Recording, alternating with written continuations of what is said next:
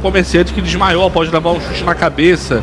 É, durante um assalto, foi isso, Maera? É isso mesmo. Mais uma vez, os empreendedores, os donos de lojas sendo alvos de bandidos, sendo é, humilhados, né? Porque nesse caso em específico, o comerciante nem reagiu, muito pelo contrário, ele mostrou o tempo inteiro calma, tentou ali é, acalmar os bandidos, mostrou que ia se render. Só que em determinado momento ele achou que dava para fugir, tentou correr, tentou fugir do local. Ele não ia reagir de forma alguma e acabou ocasionando esse chute. Ele desmaiou.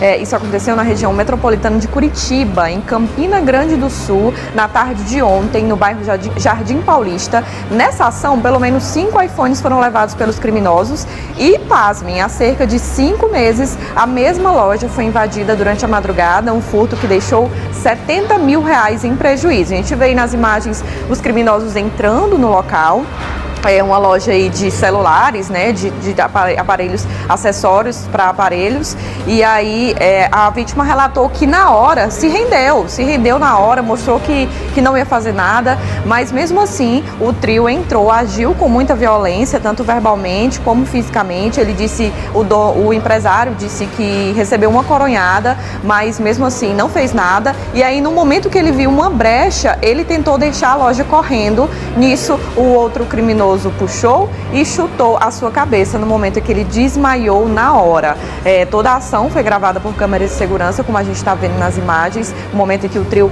entra no local armado e anuncia o assalto. No começo de junho, uma carga de iPhones avaliada em 70 mil foi furtada no mesmo local. Na ocasião, o dono novamente lamentou toda a situação no dia do crime, foi constatado um buraco no teto com escada de madeira, possivelmente os criminosos entraram por lá. Então, essa já é o segundo, segundo alvo, o segundo momento em que essa loja é alvo de bandidos, é, tanto em junho como agora. Essa resultou nessa ação bem mais violenta. E o criminoso estava fugindo já, ele já estava saindo, não custava nada, quer ir embora, vai embora, leva os, leva os celulares, mas não, pela maldade, por ser mau caráter, foi lá o dono da loja tentando fugir, tentando salvar sua própria vida e ele vai lá dar um chute bem na cabeça do empresário, bem na cabeça do, do dono do, do, estabelecimento, que desmaia na hora, claro, com a pancada. É, ele foi socorrido, passa bem, mas o susto, o medo perduram, né? Porque a loja, mais uma vez, alvo dos criminosos, a gente, é, os empreendedores ficam até se perguntando se realmente vale a pena continuar arriscando a vida dessa forma.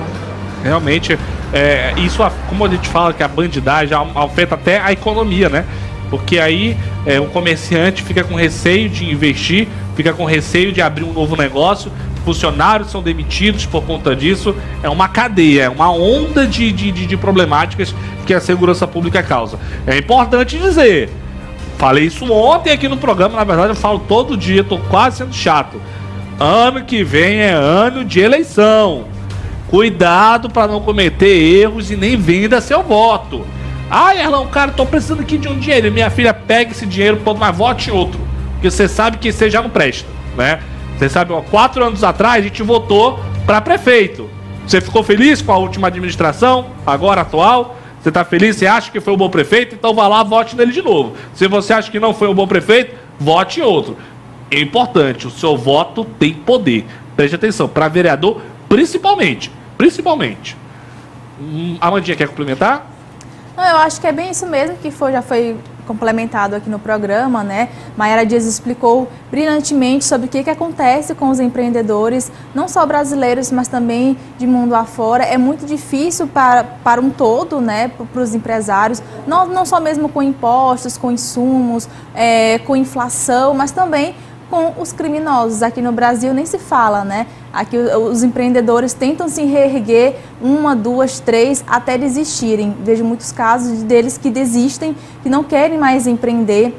Infelizmente tivemos aí a pandemia que realmente fechou as portas de muitos empreendedores que estão tentando se reerguer agora novamente, mas infelizmente temos aí um novo mal, né? Que realmente está cada vez mais é, maior, que é a criminalidade. É, infelizmente, tem alguns criminosos que às vezes até cismam com alguns empreendimentos, com alguns estabelecimentos, querendo roubar até mesmo três, quatro, cinco vezes no mês.